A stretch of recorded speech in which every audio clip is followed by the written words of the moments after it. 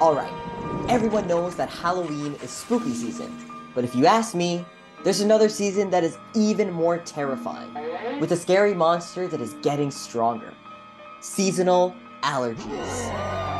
And guess what? Climate change might be making them worse. This is KN Explains Seasonal Allergies.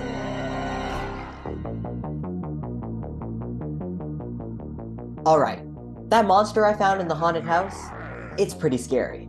We're gonna need to learn everything about it if we're gonna defeat it. I need to reach out to one of my contacts to get the scoop on what seasonal allergies are.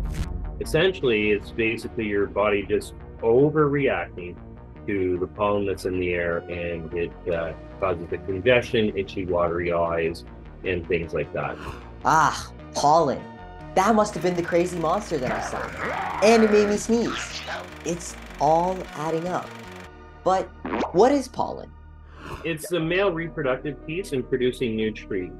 So the pollen will attach itself to a flower uh, within the tree or another tree of the same species, and then they'll produce a seed that creates a new tree.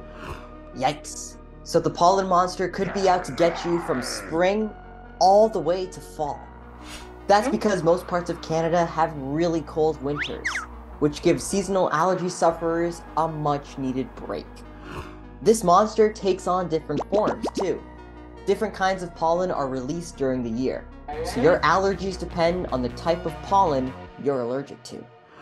Okay, so if pollen and seasonal allergies weren't already bad enough for some people, climate change and global warming might be making them even worse. That's right, allergy season is taking over a bigger chunk of the year. But how does climate change play into all of this? I need to get my expert back on the phone to figure this out. Pollen is released due to warm temperatures. So the more warm temperatures we're getting, the longer the season, the more pollen we're going to see in the air.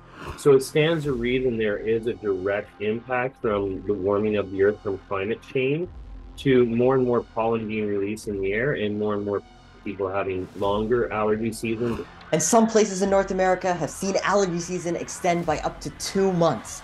And I mean, yeah, that monster looks like it's getting bigger and stronger. But like, come on, climate change is bad enough. You're telling me on top of potential disasters like droughts, flooding, heat waves, and extreme weather, we're gonna have an allergy apocalypse? Like, are we gonna be allergic to the world? No.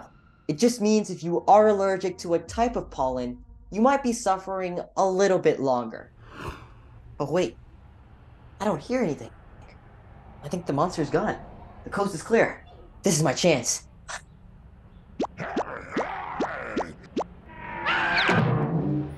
But don't be afraid. Like any good superhero movie, we just need to fight back. And I've got you covered. If we work together, we can take this pollen monster down. I got some tips, tricks, and hacks to help you overcome the seasonal allergy supervillain. First up, check the pollen count.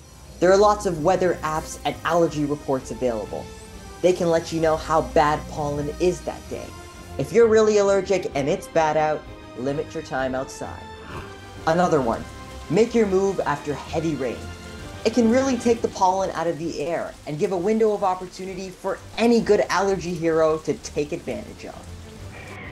But we know that sometimes a hero has to do what they have to do. That's why it's important to have multiple outfits on standby. Ditching your outdoor clothes when you come back inside can reduce pollen's impact on you. And lots of superheroes need sidekicks. And a good one for a pollen warrior is an air purifier.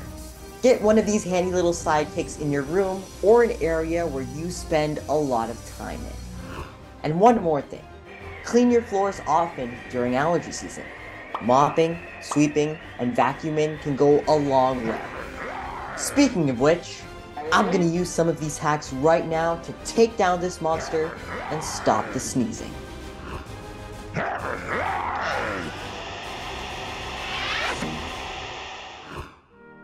Ah, fresh air. Hopefully you can use some of these tips to take on your own pollen monsters. That's it for KN Explains. For CBC Kids News, I'm Arjun Ram.